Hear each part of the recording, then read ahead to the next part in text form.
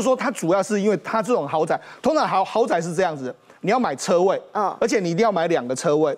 因为通常都是豪宅，你怎么可能只有一台车？说的，你要两台车嘛，所以他一共是因为他是买两户，所以他一共要买四个车位，然后买四个车位，一个车位是九百三十五万，所以一共是车位乘以四就是三千七百万。为什么车位那么贵？那这九百三十万打破台北的记录，台北最贵的最贵的记录是在黄翔玉居，原本一个车位要八百八十三万。那也很那你想对，有钱人买豪宅这样的买法哦，用扫的哈。好，我们来看这是最近一个这个被这个披露的。一个消息是，我们的曾心莹呢砸了六点二四亿买两户豪宅，直接就是现金交易。然后呢，它的停车位更厉害，它这个停车位啊，它那两户还买四个停车位，这四个停车位呢要价三千七百万。有人买停车位买到跟豪宅价钱一样，也非常厉害了哦。好，那么到底呢？哎，这个我们的真心营买这样的房子，那他到底郭家人到底还有多少房子呢？问问世彤哥。对，没错，最近主要传出一个首席公馆这个这个豪宅，这在哪里呀？这豪宅在豪宅在哪里？我们知道新一路一般我们知道新一一一零一在比较偏向这个靠这个另外一边，对不对？但是它这个是在另外一边哦，也就是说新一路这个豪宅大家都是在靠近一零一那一边的，对但是它是在另外一边，另外一边，它是在新一路的这个松仁路跟松晴路那边。那为什么会知道？因为我朋友去看这附近的房子，他本来也想买。哦，那朋友就叫王志玉。哦，没有开玩笑。但是你知道，他这一户呢，为什么会揭露出来？就揭露说有一个曾姓的女富豪，对，他买了，他用现金买了两户，他是两户打通，然后用六点二四亿买下来。那单平换算的话是两百四十五万一平，那大概是跟目前的这个这个市场的这个价格差不多。那另外就是说，它主要是因为它这种豪宅，通常豪豪宅是这样子。你要买车位，嗯，而且你一定要买两个车位，因为通常都是豪宅，你怎么可能只有一台车？说的，你要两台车嘛，所以他一共是因为他是买两户，所以他一共要买四个车位，嗯，然后买四个车位，一个车位是九百三十五万。所以一共是车位乘以四就是三千七百万。为什么车位那么贵？那这九百三十万打破台北的记录，台北最贵的最贵的记录是在黄翔玉居，原本一个车位要八百八十三万。那也很那你想对？那你想说你这个车位怎么那么贵呢？你到底是这为什么那么贵？所以我跟他讲，如果你有去参观过豪宅的地下这个车道的话，它下去就是雕梁画栋，有了还有艺术空间，然后这样一路。停车场哎，对，有艺术空间，而且有的停车场是还有冷气的。然后你下去之后，开下去之后，他们可能都有专门配备。譬如说，你的停车场里面来说，你的位置里面可能就有充有充电器，什么都有架在那个地方。是，甚至还有了停车场会盖的类似是一个门、一个房门这样子，让你停进去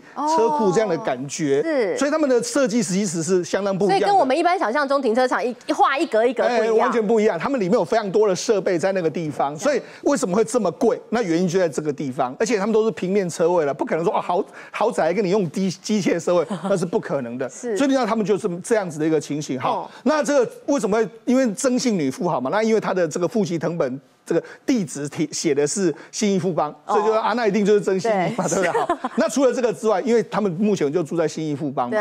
那这个郭郭台铭董事长有六户的这个住宅，那另外一个他在二零一一年的时候买了这个二点六亿买了五楼，所以他等于是一栋呢，他们几乎那一栋都快被他买下来的一个状况，对。所以他就是喜欢这样子哈。那他现在这个，那你喜欢整栋都是你自己家，你为什么不自己盖一栋啊？哎，那个不一样了，你自己盖跟人家人家你的品味或是人家没有人家的这个知道怎么盖，这样子隔。行如隔山呐，对我这样的一个情形哈。那么那郭董来说，他目前为止人并不在台湾，他们目前全家都到捷克去避暑了。拿到哪里？到捷克的这个古堡。我们曾经听讲过非常多次，他几也啊十多年前就买了这个古堡。这古堡原本是要送给他的前妻林淑如的，所以那个这个名字叫 Serena Castle 哈，这个也是他以他的名字命名的。那当时是用十亿买了这个古堡，那这个古堡在这个这个。捷克的波西米亚州这个地方，然后后来他又花了一百多亿把它整建，因为那是古堡买下来是旧的。哦，好，那我们讲，事实上有钱人除了这个买买房子不眨眼之外，有钱人还有一个非常有意思的习惯。哦，我们都说呢，千金难买好邻居，对不对？对。他们就说啊，既然没有办法买到好邻居，我就自己来当我自己的邻居。好，譬如说像元大一品院，它这个地方很，我不知道元大一品院是靠近这个我们博爱特区那边嘛。对。然后有个住户他有十四楼了，他就觉得哎。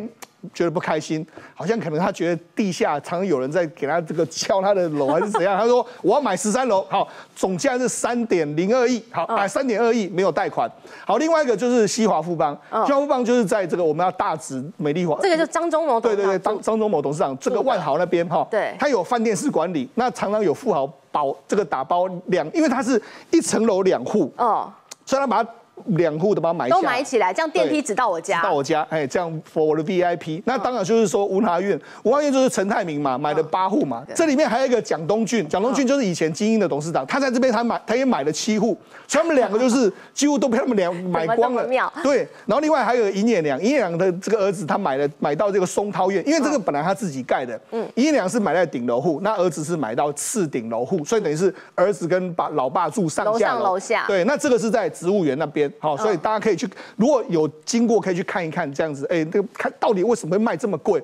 好，那我们接着讲，如果你真的有钱的话，如果买不起豪宅没关系，你可以去租豪宅，你可以当这个郭董的邻居。譬如说像新义富邦，嗯，这个有一个五楼，它五楼它真的旁边就是郭董的房子哦。那这个就是租的，对对对，租的啊，他可能这个那个户主可能那个那个屋主可能不在台湾，他就想让我租出去好了。那月租来说是三十五万。然后大概是这个一百九十六平，有含两个车位，沙子国班呐。哎，那我们大家集资三十五万去住一个月，当郭董一个月里。那种那种房子不可能让你租一个月，为什么？他都要让你，譬如说年租了，而且你要获得住户的同意，你才能够租。啊？他们那种都是这样，豪宅都是这样，你一定要。经过住户的同意，你才能住，不是随便阿猫阿狗。还要面试，是不是？对对对，还要面试，甚至有的房子你去看，你还要先缴一些所谓定金之类的。你要先缴这个所谓的你的所得证明才能够租了。这种豪宅不是能够乱租的哈。那比如说好，你假设说啊，我不要租这个新义富邦，我租其他的，嗯，像青美蒲珍，青美蒲珍就是在这个这个我们要大安森公园对面，对不对？在捷运公购上面哈，它月租最高六十万，那文华苑来说是五十二万，那华固的这个天柱是四十五万这样一个状况。如果你真的有真的买不起豪宅啦，那你如果哎真的想要去租租看，或许你可以想办法去租这些豪宅来见识看看。好，所以呢，我们看到这个豪宅的世界哦，这个大开眼界了哈。